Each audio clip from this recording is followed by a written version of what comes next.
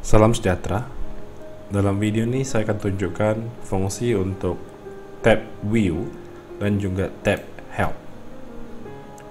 Jadi untuk nampak dengan kesan bagi fungsi view kita perlu masukkan objek satu objek terlebih dahulu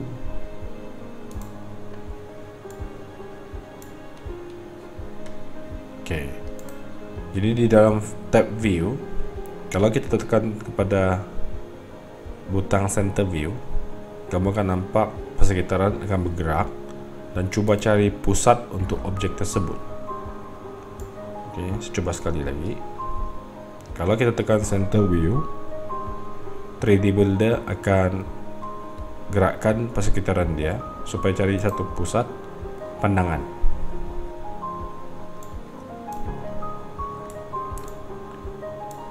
shading pula memberi kesan warna dan cahaya supaya kita dapat mata kita dapat bezakan antara permukaan di atas objek.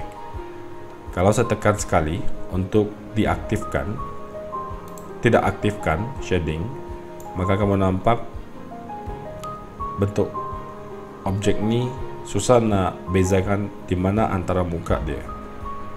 Jadi shading ini pastikan selalu uh, pastikan ianya aktif untuk selalu. Okay. Shader pula memberikan kesan bayang-bayang kepada objek yang kita nak hasilkan. Bayang-bayang, tekan sekali, bayang-bayang dihilang. Tekan sekali, bayang-bayang dikeluar. Color pula memberikan kesan warna kepada objek kita. Reflection maksudnya refleksi. Objek ini terletak di atas lantai dan jikalau kita tekan refleksi kami akan nampak satu lagi objek yang terletak di bahagian bawah lantai. Jadi kena anggap lantai ini seperti cimin, cermin untuk memantulkan uh, objek yang kita hasilkan fungsi untuk smoothing pula dia adalah untuk mengurangkan semua garisan-garisan di sini untuk objek tersebut supaya dia nampak lebih licin. Contohnya saya masukkan objek yang lebih rumit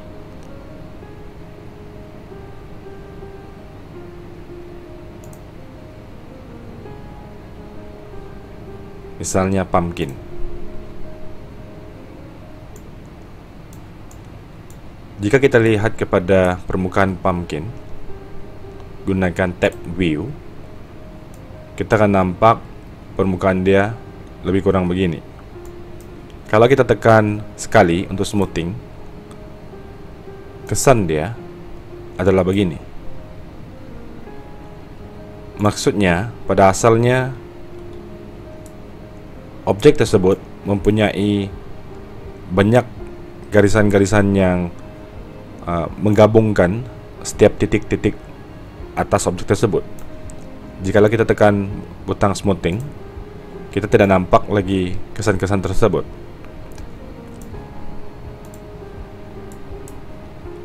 Fungsi yang seterusnya ialah wireframe.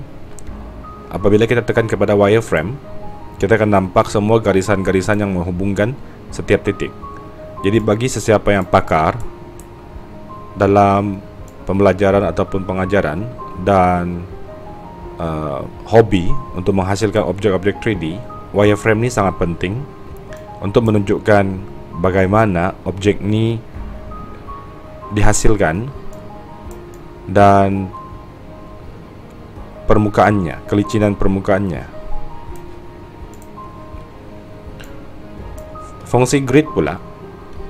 Fungsi grid jika kita tekan lantai untuk persekitaran 3D builder akan hilang. Kita akan nampak objek sekarang kita terapung di persekitaran 3D builder. Jadi adalah lebih bagus kita aktifkan fungsi grid. Manakala fungsi X-ray pula, maksudnya kita boleh lihat dalam dalam sesuatu objek. Contohnya sekarang saya dah klik kepada pumpkin ni. Kalau saya tekan kepada uh, segitiga ni, bahagian dalaman pumpkin akan kelihatan. Jikalau saya gabungkan mereka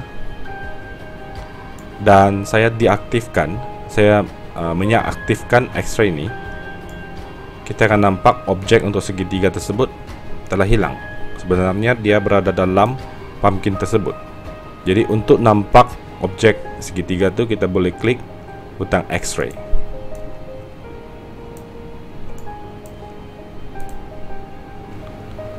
Seterusnya kita lihat kepada fungsi help. Help maksudnya membantu, menolong. Jadi untuk fungsi di sini get started apabila kita klik dia akan keluar screen ini ini adalah paparan asas bagaimana menggunakan 3D Builder tidak banyak kita boleh belajar daripada uh, fungsi learn more ni ataupun fungsi get started ni uh, kalau nak belajar lebih banyak kita perlu pergi ke user guide user guide di mana dia akan buka pelayar lepas tu kita akan dapat hubungi dengan komuniti luar yang menggunakan aplikasi 3D Builder. Manakala fungsi untuk compatible printers pula apabila kita tekan ni dia akan buka layar lagi untuk tunjukkan jenis-jenis pencetak 3D yang sesuai digunakan dalam aplikasi 3D Builders. Itu saja untuk video ni.